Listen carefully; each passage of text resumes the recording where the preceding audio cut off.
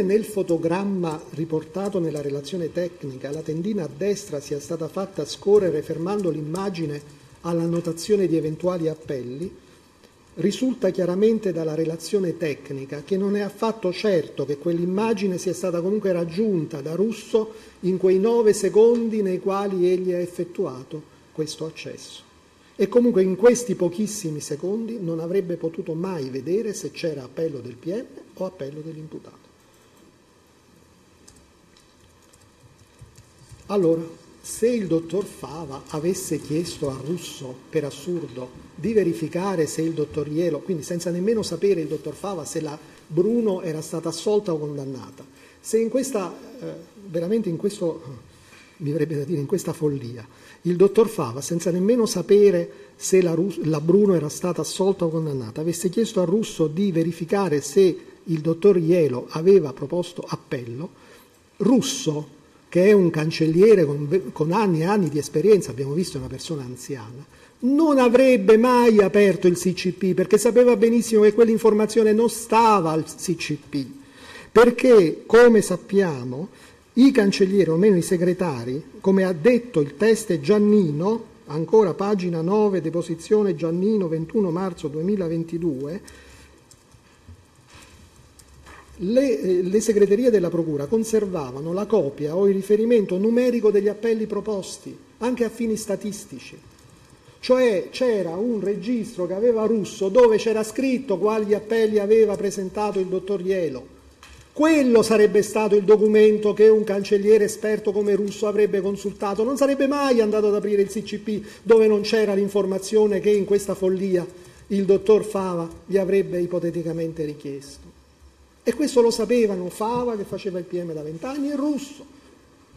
È strano che il pubblico ministero di Perugia, che pure ha una notevole esperienza, non lo sappia. Oltre a ciò deve essere considerato un altro dato. Il signor Russo, che è stato sentito nell'udienza del 16 febbraio 2022, ha chiarito di avere certamente interrogato più volte proprio quel procedimento il 62278-2012 modello 21 per far fronte a richieste di informazioni, ha detto Russo, provenienti dalla polizia giudiziaria e anche per riepilogare le spese di giustizia e completare il foglio notizie. A quel proposito ha detto che proprio la maschera contenente l'elenco delle richieste, visualizzata il 15 maggio del 2019, la seconda maschera aperta per intenderci, veniva da lui aperta per compilare e trasmettere il foglio delle notizie. Cioè gli chiedevano il foglio delle notizie e lui apriva quella schermata. E poi ha aggiunto un'informazione secondo noi fondamentale, un'informazione fondamentale che era nota al pubblico ministero ma che noi non siamo riusciti a trovare negli atti. Infatti invitiamo il Tribunale a fare a sua volta una verifica. Perché che cosa ha detto? Ha detto che il giorno 14 maggio 2019, cioè il giorno prima di questi accessi, era arrivata una richiesta di informazioni dalla Polizia Giudiziaria, Guardia di Finanza, per avere notizie in merito a un soggetto originariamente coindagato della Bruno nel procedimento 62278-2012, cioè proprio in questo procedimento, il 14 maggio, era arrivata una richiesta di informazioni della Guardia di Finanza alla segreteria del dottor Iego. Testim- trascrizione udienza 16 febbraio 2022, pagina 15. Testimone Russo Antonio. È il 14 c'era stata una richiesta di accertamento di una notizia sullo stato del procedimento di un coindagato di quel procedimento, posizione stralciata che era in attesa di definizione al giudice monocratico. Pubblico Ministero dottor Formisano per false informazioni al pubblico ministero, perché era un reato di false informazioni al pubblico ministero. Testimone Russo Antonio, esattamente, e che era in attesa della fissazione udienza e periodicamente la Guardia di Finanza comunicava allora, come faceva il pubblico ministero, dottor Formisano, a sapere che erano false informazioni al pubblico ministero? Quindi lo sapeva già.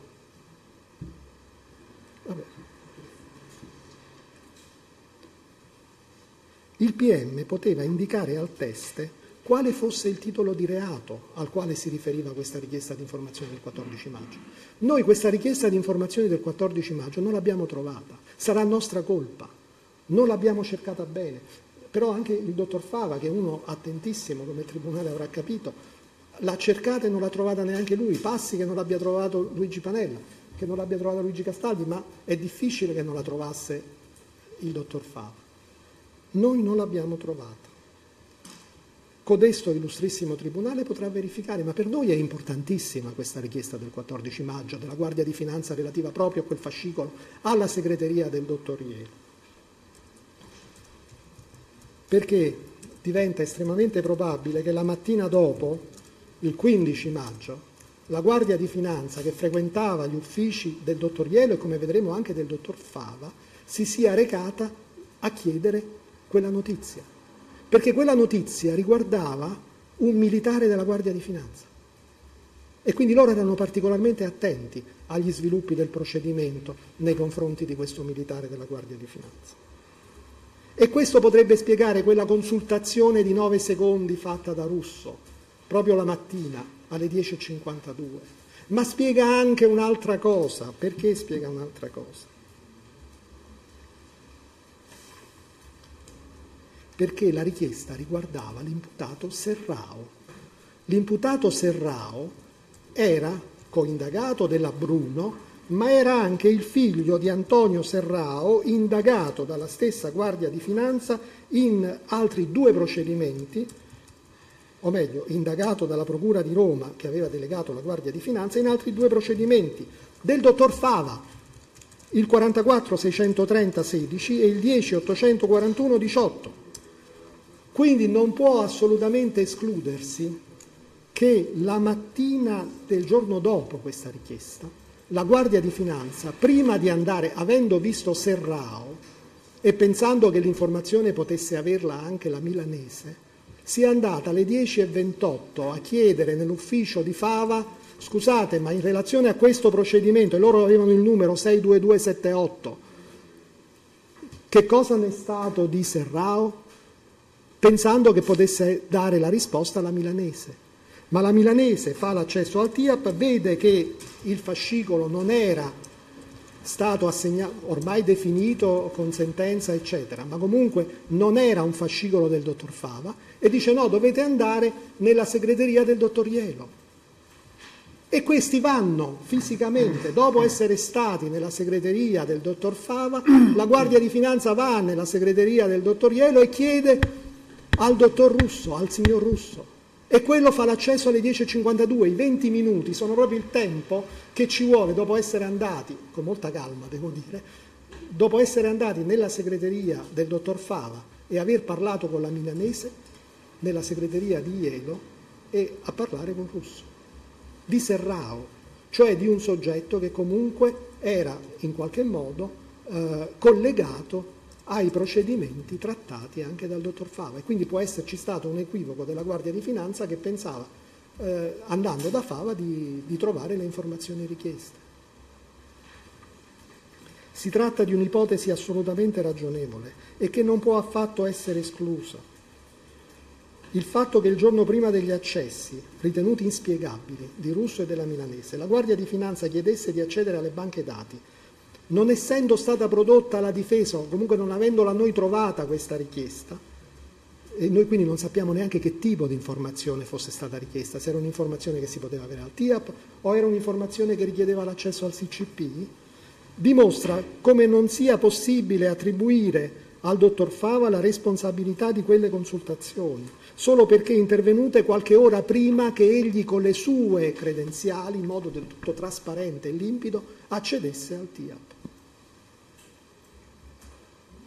Del resto è, è indubbio che il russo si sarebbe ricordato, cioè se Fava avesse chiesto qualcosa al russo il 15 maggio del 2019, alla fine del mese, quando c'è stata la perquisizione negli uffici del dottor Fava, quando è esplosa, diciamo così, questa vicenda, Russo se ne sarebbe ricordato. Avrebbe detto al dottor Ielo, è venuto Fava a chiedermi questa cosa. E non l'ha fatto. Eppure Russo ha riferito di aver coadiuvato il dottor Ielo all'inizio di giugno a redigere una relazione anche visionando gli atti di quel procedimento. Eppure, sentito come testimone in questo processo, Russo ha confermato quanto già dichiarato nel corso delle indagini preliminari e ha dichiarato che ciò non è accaduto, cioè che Fava non è andato a chiedergli un bel nulla.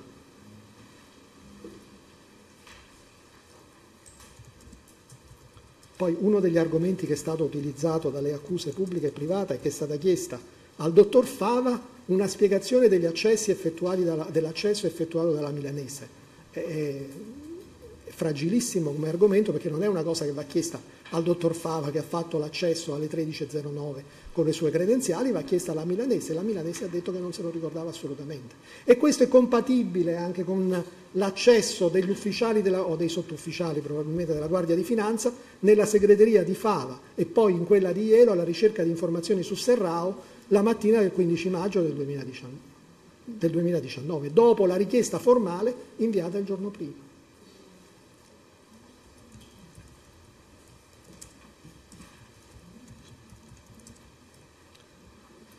Ancora una volta.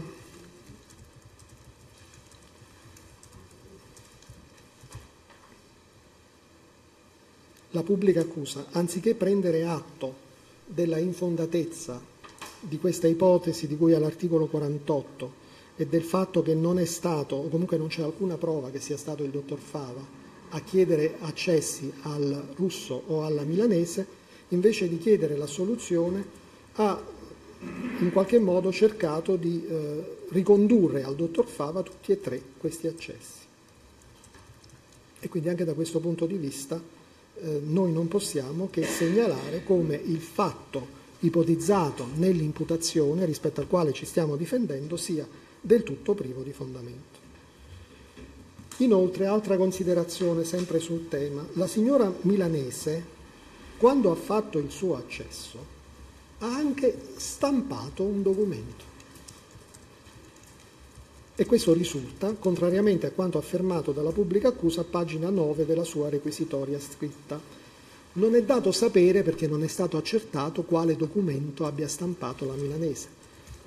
Ma una cosa è certa, non lo ha dato al dottor Fava, perché il dottor Fava, quando poi ha fatto il suo accesso alle 13.09, ha consultato quello stesso documento cosa che egli non avrebbe fatto ove disponesse già di una copia dell'atto. Forse lo ha dato alla Guardia di Finanza per dire guarda dovete andare da Ielo? Non lo sappiamo perché quest'atto noi non lo abbiamo trovato. Possiamo fare delle ipotesi. Ove tra i documenti visualizzati dalla signora milanese vi fosse stata la sentenza pronunciata dal Tribunale, ma così non, non dovrebbe essere, stante la denominazione data dal documento al, dal TIAP al documento, questa recava, oltre al numero del procedimento, anche il passaggio in giudicato, cioè l'attestazione della mancata impugnazione. Se l'avesse data al dottor Fava, il dottor Fava non avrebbe avuto nessuna necessità di chiedere alcunché a Russo. Se invece, come sembra, questi documenti, il documento stampato dalla milanese riguardava altro, il dottor Fava non avrebbe potuto sapere alle 10.52 del 15 maggio quando veniva effettuato l'accesso dal russo, quale fosse stata, come dicevo, la sorte del procedimento nei confronti di Brunella Bruno. Cioè se non era la sentenza, lui non sapeva nemmeno se era stata condannata o assolta Brunella Bruno e quindi non avrebbe comunque potuto chiedere nulla in ordine a eventuali appelli del PM al cancelliere russo. Allora resta da spiegare, e il pubblico ministero non lo spiega in alcun modo, per quale ragione il dottor Fava avrebbe dovuto chiedere al russo di accedere al CCP. Non certamente, come dice l'imputazione, per individuare il procedimento, perché il numero ce lo aveva già Fava, e non certamente per chiedergli se il dottor Ielo aveva o meno presentato l'appello. Quindi questa eh, ipotesi ricostruttiva dell'accusa è rimasta un gigantesco punto interrogativo, al quale l'accusa non è riuscita in alcun modo a dare una risposta. In realtà come affermato dal dottor Fava fin dal suo primo interrogatorio, egli non ha richiesto alla signora milanese e al russo di accedere a questo procedimento. perché, vado per sintesi, veramente per sintesi, conosceva il numero del procedimento a carico di Brunella Bruno e lo abbiamo visto.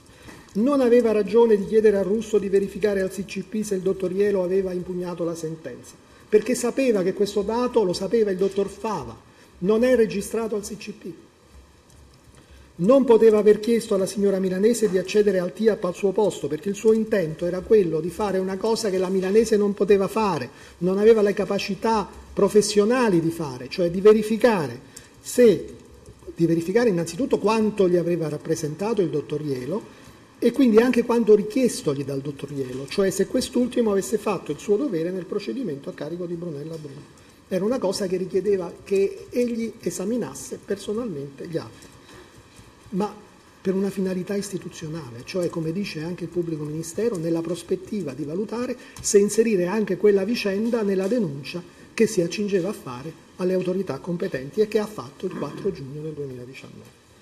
Disponeva egli stesso delle credenziali per accedere al, TIPA, al TIAP, infatti lo ha fatto in modo assolutamente trasparente e limpido alle 13.09. Ove non avesse voluto lasciare traccia dell'accesso non si sarebbe comunque, cioè una cosa possiamo dire, ma non che il dottor Fava sia uno sciocco, assolutamente, non si sarebbe rivolto al segretario del dottor Ielo, il quale avrebbe potuto dire al dottor Ielo guarda che è venuto Fava e mi ha chiesto questa cosa. Cioè qui si ipotizza addirittura la stupidità, se volete, del dottor Fava se fosse stato consapevole in ogni caso delle illiceità del suo accesso, da pubblico ministero che faceva questo mestiere da vent'anni, non avrebbe fatto l'accesso alle 13.09 in modo del tutto trasparente, restando per ore oltretutto al TIAP, perché l'accesso è dalle 13.09 alle 14.48.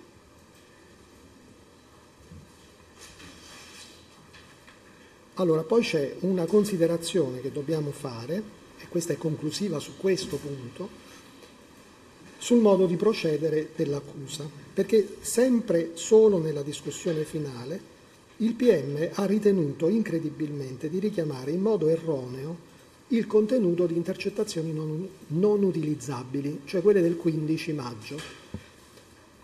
Conversazione intercettata dal Troia nel 15 maggio, Fava Palamara, non utilizzabile, che non è stata acquisita, e comunque il pubblico ministero l'ha citata per far credere erroneamente che la scelta del dottor Fava di accedere personalmente al TIAP alle 13.09 del giorno 15 sarebbe derivata da quella conversazione intercettata.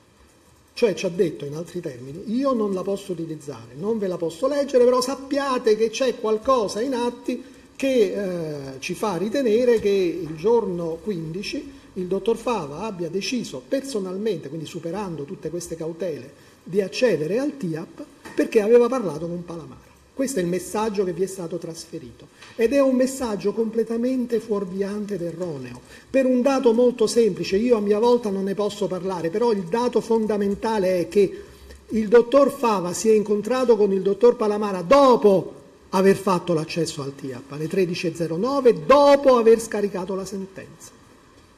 Quindi il suo accesso al TIAP non può essere stato in alcun modo determinato dalla sua conversazione inutilizzabile con Palamara del 15 maggio. Si tratta della ulteriore conferma delle gravissime carenze probatorie che caratterizzano la ricostruzione accusatoria. In modo più semplice mi verrebbe da dire si tratta della dimostrazione di come il pubblico ministero abbia cercato in tutti i modi di arrampicarsi sugli specchi, perché anche questo è un argomento del tutto fallace.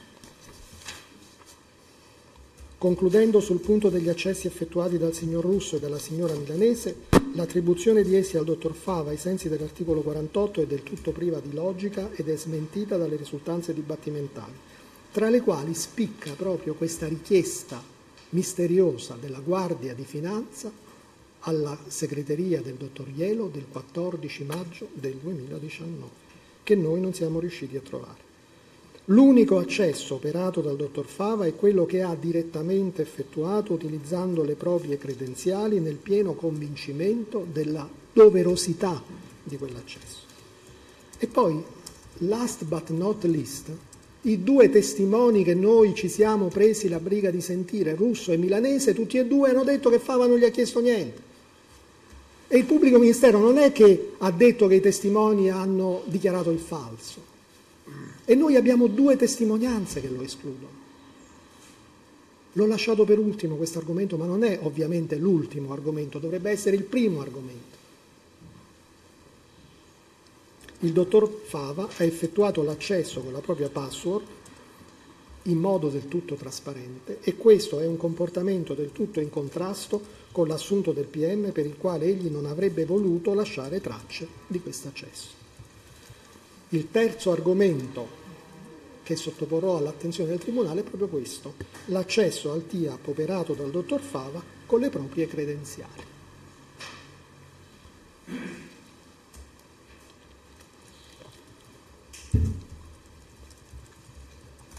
Allora, a questo proposito dobbiamo porci una domanda.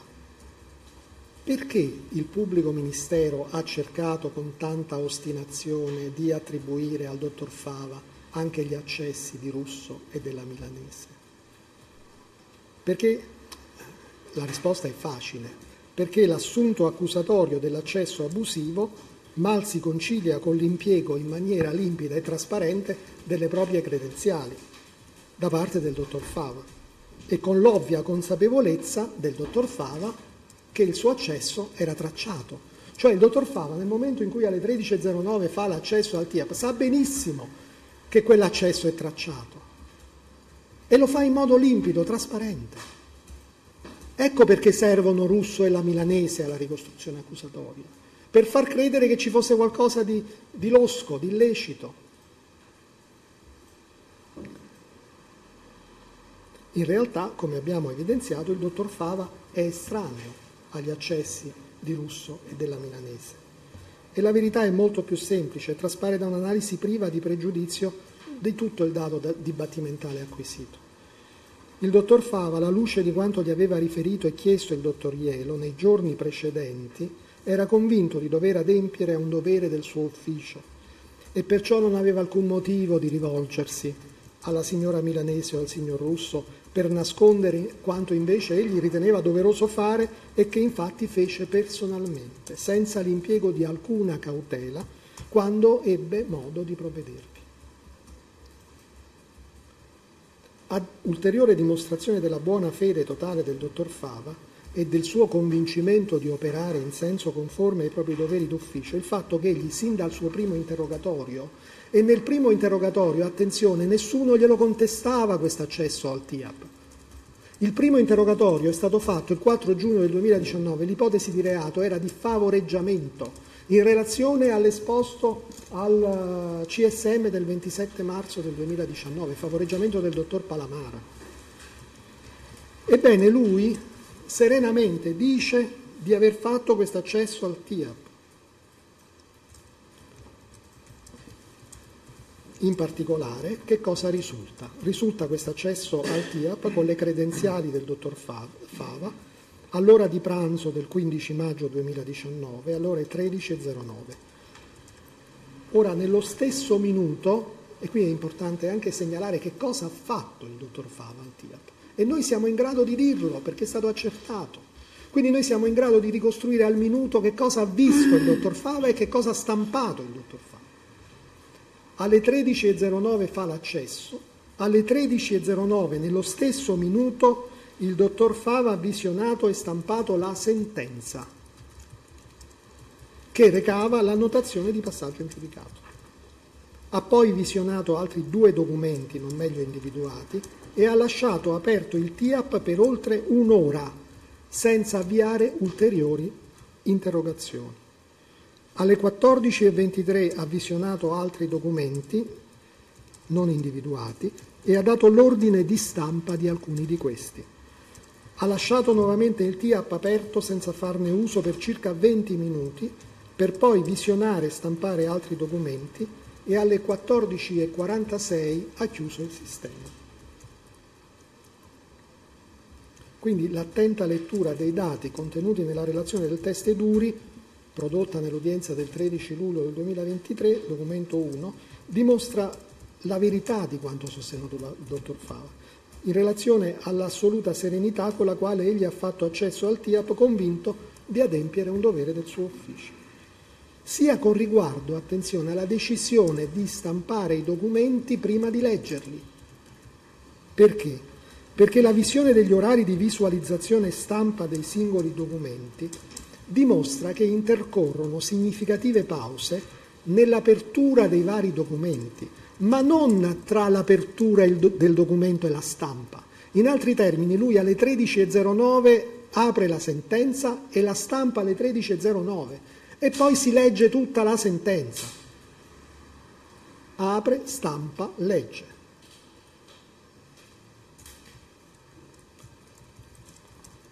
Il successivo documento dopo la sentenza viene visualizzato un'ora e 13 minuti dopo.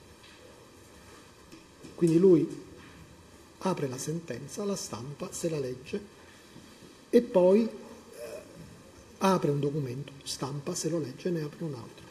Del tutto fuorviante poi è l'asserzione della pubblica accusa che ha sottolineato la circostanza che il dottor Fava avrebbe stampato alcuni documenti più volte in realtà ha stampato dei documenti che avevano lo stesso ID.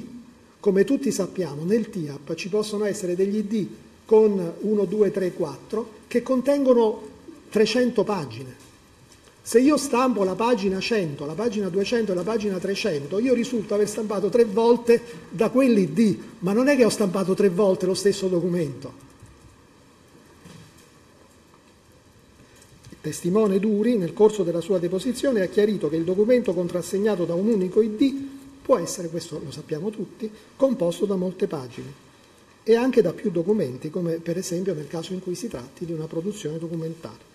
È quindi probabile, anzi logicamente ragionevole, che il dottor Fava abbia dato in più momenti ordini di stampa diversi riguardanti documenti o pagine diverse, contrassegnati però con lo stesso ID.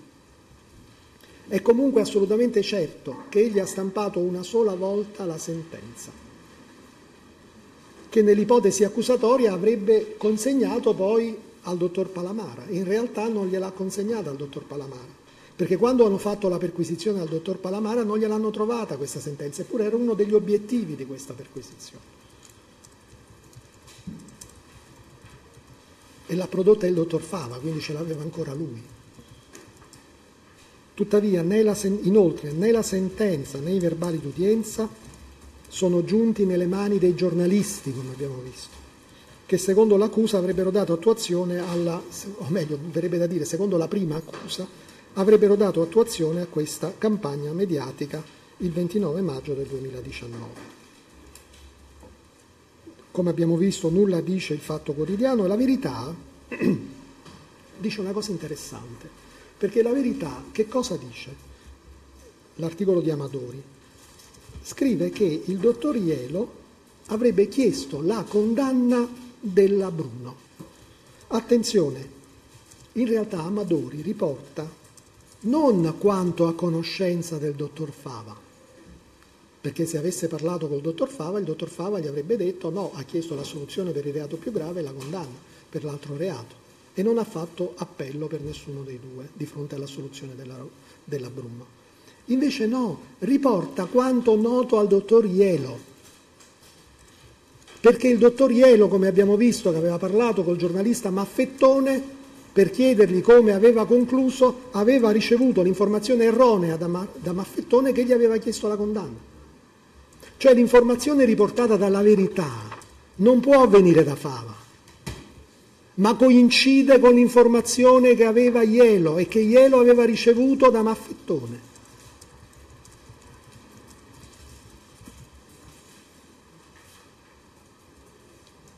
È di tutta evidenza che se l'articolista Amadori avesse avuto in mano la sentenza a lui veicolata dal dottor Fava, avesse parlato dal dottor Fava, avrebbe scritto tutt'altro, come abbiamo visto.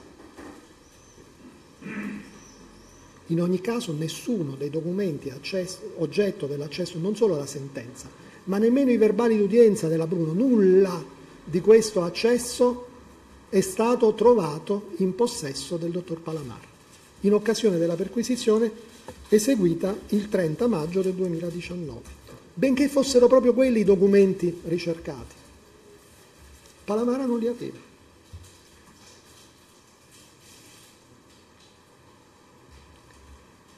Andiamo adesso, ulteriore argomento, alla richiesta del dottor Ielo al dottor Fava di verificare che nel procedimento contro Brunella Bruno lo stesso dottor Ielo avesse fatto il proprio dovere.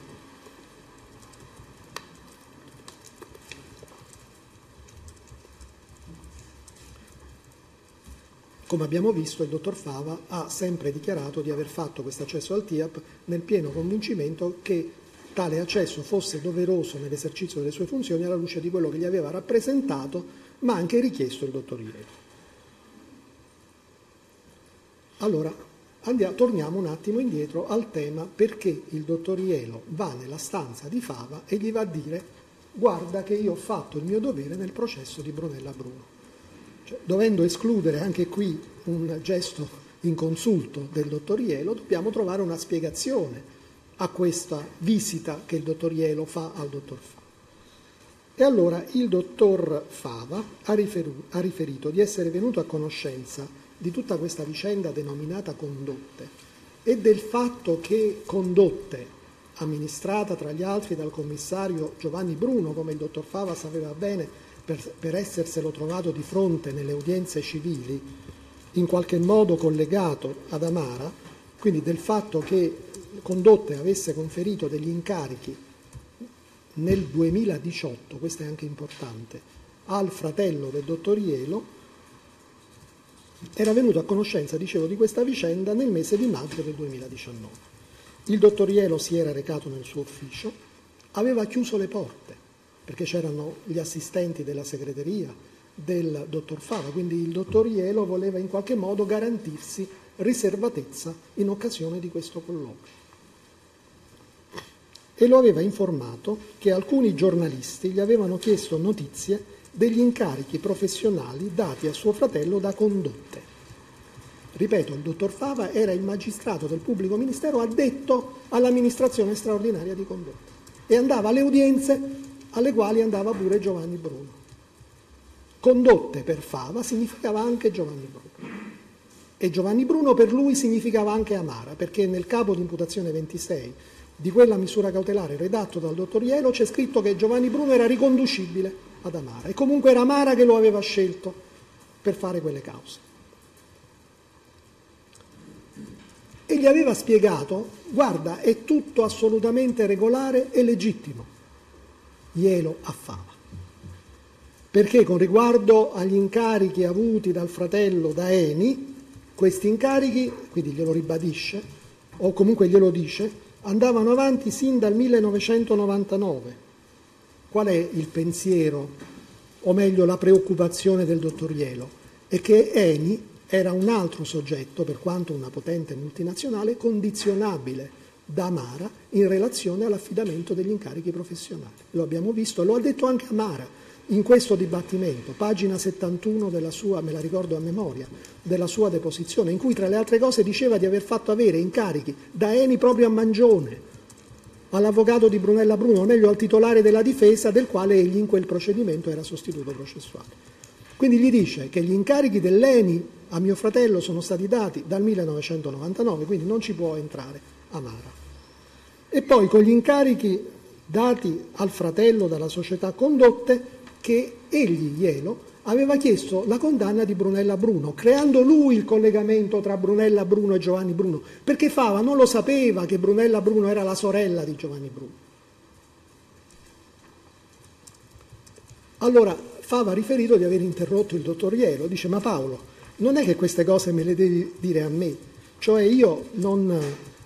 E invece Ielo gli risponde, no, perché tu le devi sapere, tu lo devi sapere. Perché lo devi sapere? Perché tu sei il magistrato che sta indagando su Amara in tre procedimenti diversi e comunque è delegato agli affari civili per la vicenda condotte. Tu lo devi sapere come magistrato del pubblico ministero che deve fare le sue valutazioni anche al fine di informare di questa situazione le autorità competenti.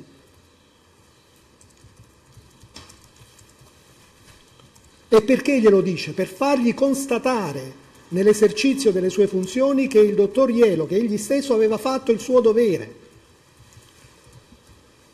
Tu guarda il procedimento di condotta e vedi come io ho fatto il mio dovere perché io ho chiesto la condanna per tutti su condotte, guarda il procedimento condotte. Questo, secondo il dottor Fava, gli dice il dottor Ielo.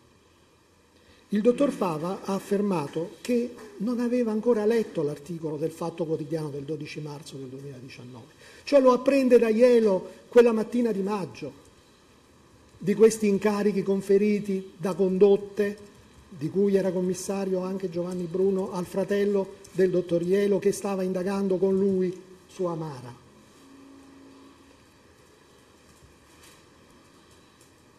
Il dottor Fava ha poi dichiarato che alla luce di quanto gli era stato riferito e anche chiesto di verificare, ma avrebbe dovuto farlo, attenzione signori del Tribunale, a prescindere anche da una richiesta, perché se, uno, se io sono il pubblico ministero di, delegato agli affari civili di condotte, so che Giovanni Bruno è in qualche modo collegato ad Amara e il procuratore aggiunto mi viene a dire guarda che i giornalisti mi hanno chiesto di incarichi conferiti da condotte a mio fratello e Amara è ancora indagato perché Amara era ancora nel pieno delle indagini nel maggio del 2019, allora io me lo pongo il problema, me lo pongo da solo, anche se lui non me lo chiede.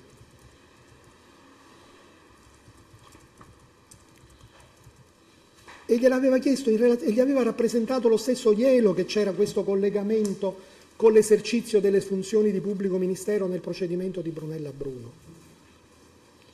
E quindi dicevo, il dottor Fava ha sempre dichiarato che alla luce di quanto gli era stato riferito e anche chiesto di verificare, ha ritenuto doveroso per stabilire se effettuare una segnalazione alle autorità competenti anche in relazione a quella vicenda, andare a guardare la cosiddetta vicenda condotte, che poi non era la vicenda condotte perché era un fascicolo relativo a Brunella Bruno, sorella di Giovanni Bruno.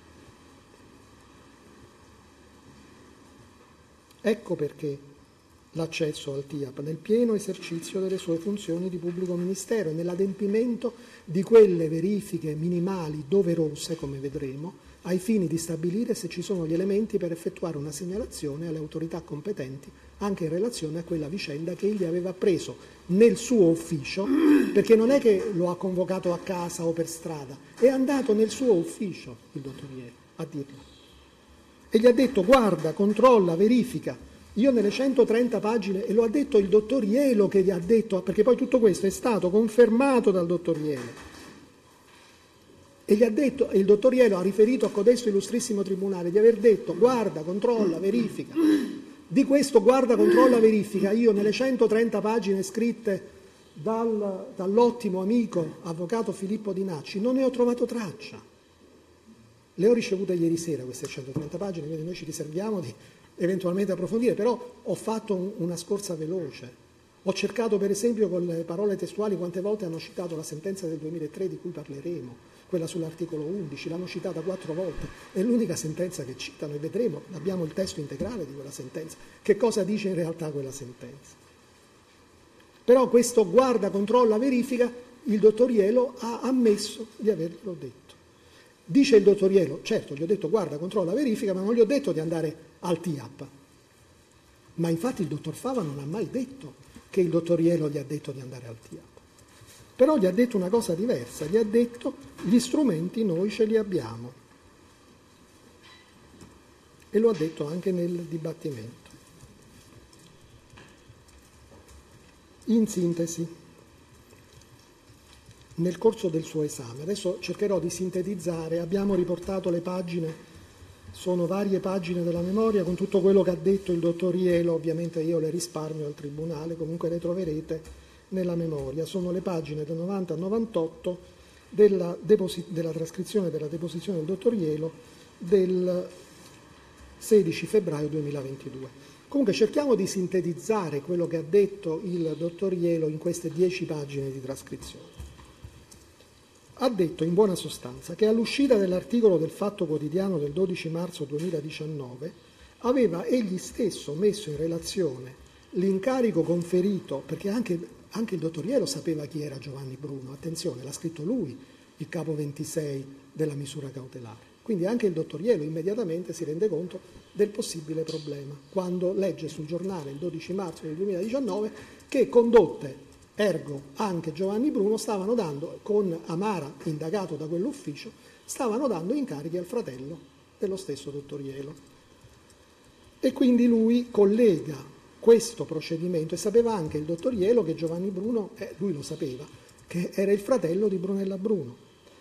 E quindi che cosa fa? Chiama, chiama il dottor Ielo, ce lo ha spiegato nel dibattimento, Maffettone dell'Ansa e gli dice scusa ma io come ho concluso nei confronti di Brunella Bruno? Cioè lo sta creando il dottor Ielo il collegamento tra gli incarichi dati da condotte all'avvocato Domenico Ielo e il procedimento Brunella Bruno, perché chiama Maffettone, se non c'era nessun collegamento ma per quale motivo andare a chiamare Maffettone?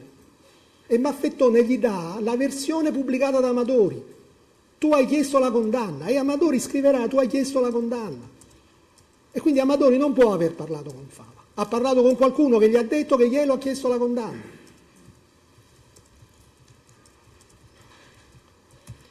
Che ha detto sempre nel dibattimento, il dottor Ielo, che ricordava di aver chiesto al dottor Fava di verificare, di controllare.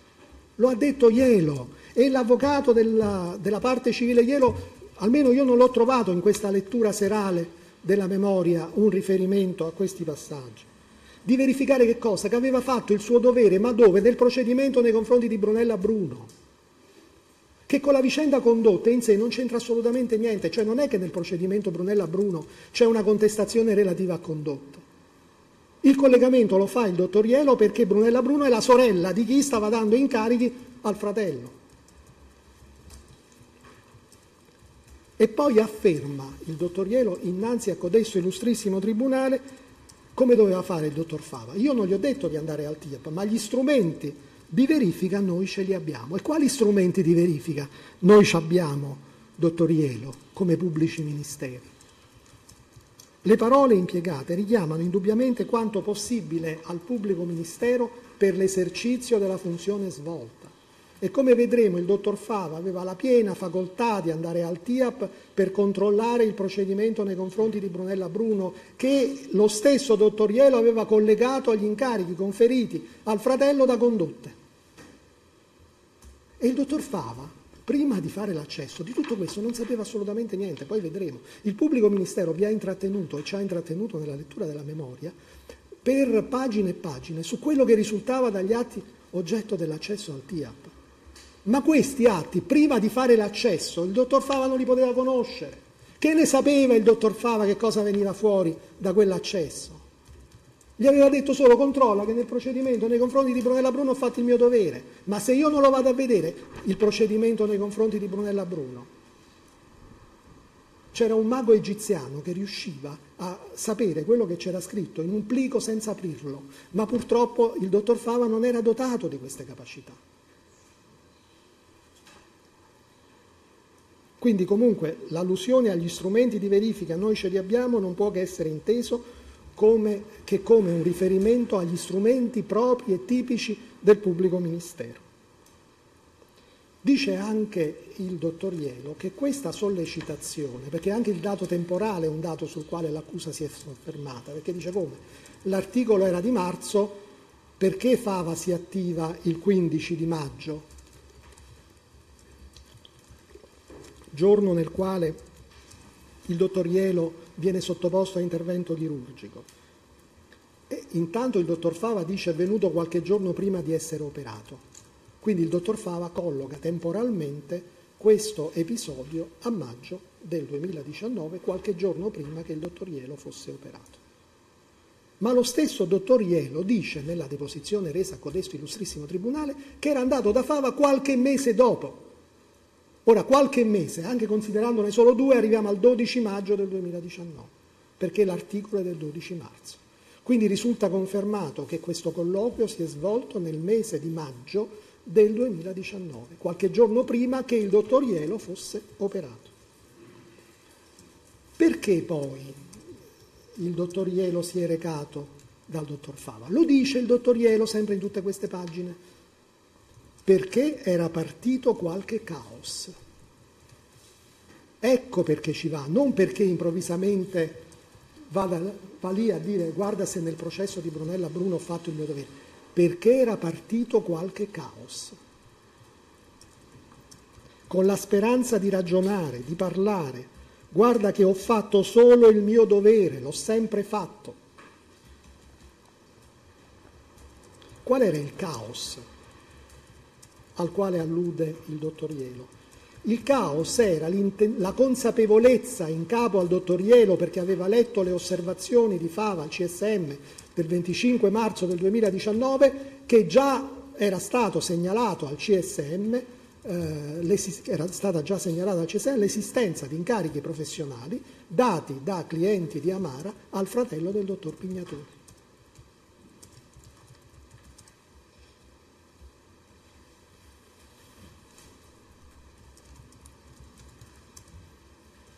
Solo questa può essere, quindi questo è il caos che stava partendo. Il dottor Iero sapeva che il dottor, conoscendo il dottor Fava, che il dottor Fava non avrebbe guardato in faccia a nessuno.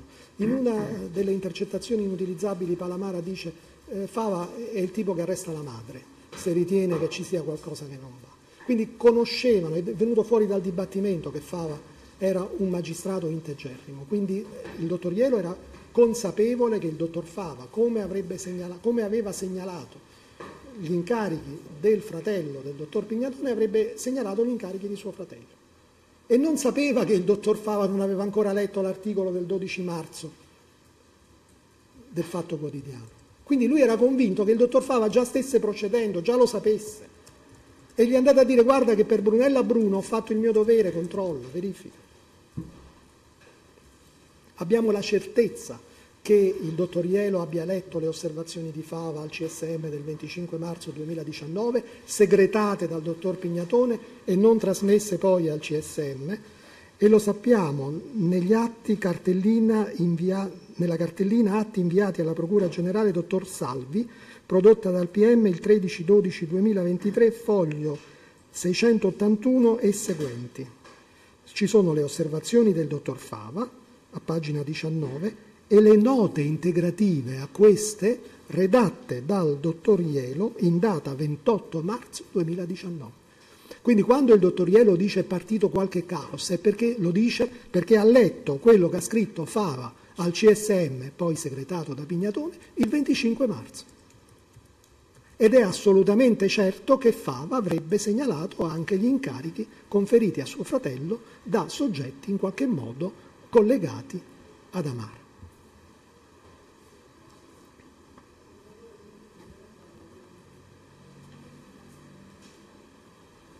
In altri termini, il dottor Ielo è andato da Fava, e questo lo ha detto lo stesso dottor Ielo, per tutelarsi, per evitare che il dottor Fava segnalasse cose imprecise che potessero in qualche modo danneggiarlo.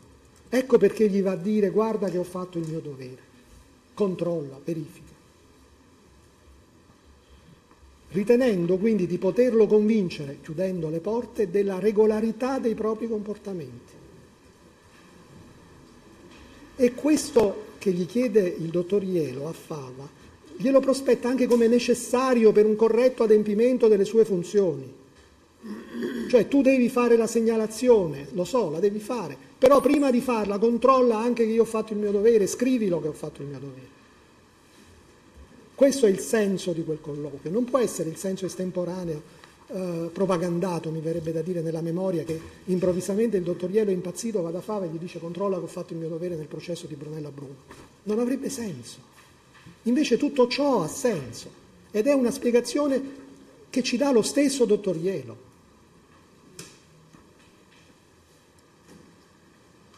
Ebbene, la cosa curiosa è che nonostante le chiare parole, chiarissime parole del dottor Ielo, la pubblica accusa ha continuato a non credere a quanto dichiarato dal dottor Fava su questo incontro. Pur essendo questo confermato dal dottor Ielo, addirittura il pubblico ministero dice anche a voler concedere, ammesso e tutto concesso che sia vero, ma che sia vero quello che dice il dottor Ielo. Quello che dice il dottor Ielo conferma quello che dice il dottor Fava. Questo incontro c'è stato e ha avuto questo contenuto e aveva queste finalità. La missione del dottor Ielo conferma e prova la verità delle dichiarazioni del dottor Fava, anche perché in questo racconto che il dottor Fava fa da subito, già il 4 giugno del 2019, egli si dimostra a conoscenza di particolari che solo il dottor Ielo poteva avergli detto. Il dottor Fava non avrebbe potuto sapere che il dottor Ielo erroneamente riteneva di aver chiesto la condanna nei confronti di Brunella Bruno perché questo gli dice, io ho chiesto la condanna. Non avrebbe potuto sapere che Brunella Bruno, imputata nel procedimento seguito dal dottor Ielo, era la sorella di uno dei commissari di condotte, Giovanni Bruno. Il cognome Bruno credo che sia uno dei cognomi più diffusi in Italia. Come faceva Fava a sapere che Brunella Bruno era la sorella di Giovanni Bruno di condotte se non glielo diceva il dottor Ielo? Non avrebbe potuto sapere che il fratello del dottor Ielo riceveva incarichi professionali dall'ENI sin dal 1999. Ora, su questa circostanza, dal dibattimento è emerso che in realtà dal 1999 fino alla fine del 2017 gli incarichi di Eni non erano conferiti all'avvocato Domenico Ielo in persona, erano conferiti allo studio Bonelli Erede Pappalardo, nel quale l'avvocato Ielo collaborava al, pa- al pari di diverse altre centinaia di avvocati, perché lo studio Bonelli Erede, come sappiamo, ha centinaia di avvocati. Dall'ottobre 2017 l'avvocato Domenico Ielo si mette in proprio e l'ENI decide di affidare degli incarichi allo studio legale, credo che si chiamasse Ielo Mangialardi, che era lo studio fondato dall'avvocato Ielo. Attenzione, ottobre 2017 è il periodo di massimo potere di Piero Amara nei confronti dell'ufficio legale dell'ENI. Era il periodo nel quale Piero Amara poteva determinare il conferimento di incarichi dall'ENI. Cioè questo particolare non è un particolare tranquillizzante agli occhi del dottor Fa perché dal 99 al 2017 gli incarichi vanno allo studio legale Bonelli Erede, che è uno dei più grossi studi legali italiani. Dall'ottobre del 2017, cioè proprio nel periodo in cui Amara in qualche modo, tra virgolette, detta legge, come dimostreranno e come vedremo i altri procedimenti penali nell'ambito dell'ufficio legale dell'ENI, i suoi collegamenti con Mantovani sono dimostrati dalle richieste di rinvio a giudizio per associazione per delinquere fatte nei confronti di Amara e di Mantovani, quindi proprio nel momento in cui detta legge nell'ufficio legale dell'ENI Amara vengono conferiti incarichi al fratello del procuratore aggiunto. Questo aspetto non è, ripeto, tranquillizzante agli occhi del dottor Fa. Quindi non avrebbe potuto in ogni caso Fava sapere, se non gliel'avesse detto Ielo, che eh, il fratello riceveva incarichi professionali dall'ENI sin dal 1999. Tutti questi elementi quindi rendono assolutamente verosimile il racconto del dottor Fava, che deve essere ritenuto oggi, a, luce del dibattimento e di, detto, eh, di quanto detto dal dottor Ielo, assolutamente credibile.